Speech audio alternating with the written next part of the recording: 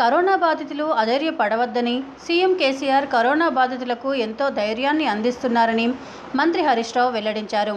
Covid బాధితులతో మాట్లాడుతూ భరోసా ఇచ్చారు. Oxygen అందుబాటులో ఉంటుందని వాళ్ళకు తెలిపారు. రాష్ట్ర ఆర్థిక మంత్రి హరీష్ రావు నేడు పట్టణంలోని ప్రభుత్వ ఏరియా ఆసుపత్రిలో ఎమ్మెల్యే పద్మా దేవేందర్ రెడ్డి పరిశీలించారు. కోవిడ్ కేంద్రంలో కరోనా రోగులతో బాగోగులు అడిగి తెలుసుకున్నారు. అనంతరం సమీకృత కలెక్టరేట్లో కోవిడ్ నైన్టీన్ కొనుగోలు కేంద్రాలపై సంబంధిత అధికారులతో జరిగే రివ్యూ మీటింగులో మంత్రి హరీష్ రావు ఎమ్మెల్యే పద్మదేవేందర్ రెడ్డి కలెక్టర్ హరీష్ పాల్గొన్నారు. ఈ సందర్భంగా మంత్రి మాట్లాడుతూ రెమిడిసివర్ ఇంజెక్షన్లు ఆక్సిజన్ బెడ్స్ అందుబాటులో ఉన్నాయని ప్రభుత్వ ఆసుపత్రిలో అన్ని సౌకర్యాలు కల్పించామన్నారు. లాక్డౌన్ విరామ సమయంలో ప్రజలు సమయపాలన పాటించండి లేదంటే సమాజమే అనారోగ్యం పాలవుతుందని అన్నారు. రాబోయే రోజుల్లో వ్యాక్సిన్ కోసం గ్లోబల్ టెండర్లను పిలుస్తున్నామన్నారు.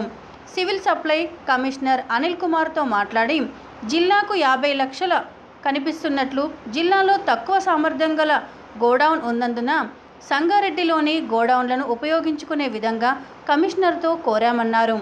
ఈ సమావేశంలో జిల్లా జాయింట్ కలెక్టర్తో పాటు ఆయా శాఖల అధికారులు పాల్గొన్నారు. శాసనసభ్యులు ఎక్కడికక్కడ కూడా మా జిల్లా కలెక్టర్లు మరి ప్రజలకు ఎలాంటి ఇబ్బంది జరగకుండా పూర్తి స్థాయిలో వారికి సహకారం అందించడం జరుగుతుంది ఇవాళ ప్రభుత్వ ఆసుపత్రుల్లో ఎక్కడ కూడా రెమిడిసివిర్ కొరత కానీ మందుల కొరత కానీ ఆక్సిజన్ కొరత లేకుండా పూర్తి స్థాయిలో ప్రభుత్వం క్షణక్షణం కూడా మానిటర్ చేయడం జరుగుతూ ఉంది. ఈరోజు మెదక్ జిల్లాలో ఇప్పుడే రివ్యూ చేశాం.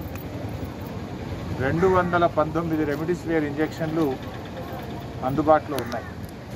మెదక్ జిల్లా ఆసుపత్రిలో నర్సాపూర్ ఏరియా ఆసుపత్రిలో తూప్రాన్లో ఉండేటువంటి కమ్యూనిటీలో కూడా రెమిడిసివిర్ ఇంజెక్షన్లు అందుబాటులో ఉన్నాయి.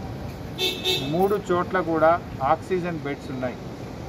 అన్ని ప్రభుత్వ ఆసుపత్రుల్లో ఎక్కడ కూడా ఆక్సిజన్కి ఇబ్బంది లేకుండా రెండు నుంచి మూడు రోజుల స్టాక్ మెయింటైన్ చేస్తూ జాగ్రత్తలు తీసుకోవడం జరుగుతూ ఉంది.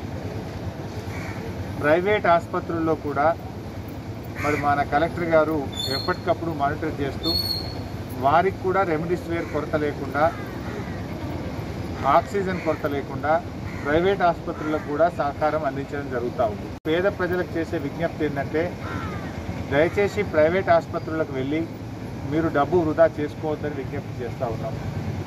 కరోనాకు ప్రపంచం మొత్తం ఒకటే మందు. అది ప్రభుత్వ ఆసుపత్రి అయినా ప్రైవేట్ ఆసుపత్రి అయినా మందు మాత్రం ఒకటే ఉంటుంది.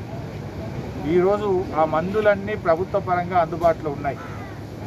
గౌరవ ముఖ్యమంత్రి గారు ప్రత్యేకమైన దృష్టి పెట్టి రాష్ట్రంలో ఇప్పటి వరకు మూడు నుంచి నాలుగు లక్షల రెమిడిసివిర్ ఇంజెక్షన్లను ప్రభుత్వ దవాఖానాలకు అందుబాటులో పెట్టడం జరిగింది.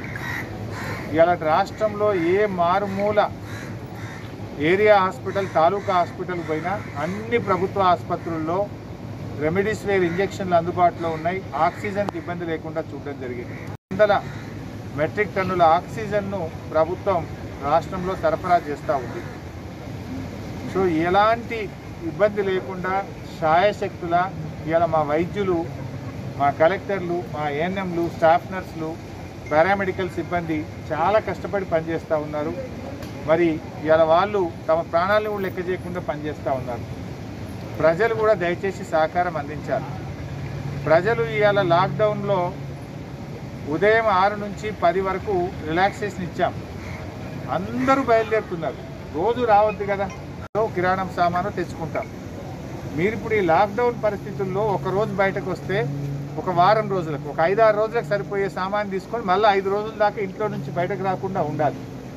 కానీ రోజు అందరూ అదే సమయంలో మార్కెట్కు రావడం వల్ల రద్దీ అవుతూ ఉంది. అది కూడా అందరు ఎప్పుడు వస్తుండ్రు? ఎయిట్ టు నైనే వస్తున్నారు అందరు.